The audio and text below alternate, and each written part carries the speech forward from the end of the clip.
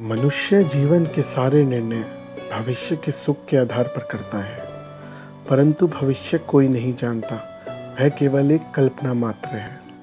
इसका अर्थ, हम जीवन के सारे निर्णय कल्पनाओं के आधार पर ही करते हैं।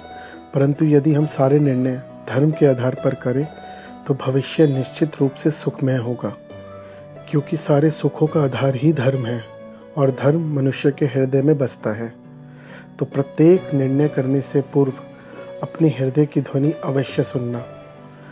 हृदय की वाणी ही ईश्वर की वाणी होती है। राधे राधे